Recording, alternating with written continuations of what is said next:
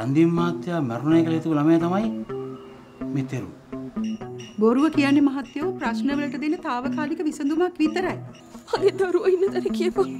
උඩුරාවන්න group එකට මෙච්චර පාඩුවක් කරලා තියෙන මේ කම්පැනි දෙකත් එක්ක මෙයාලා තාම බිස්නස් කරනවද?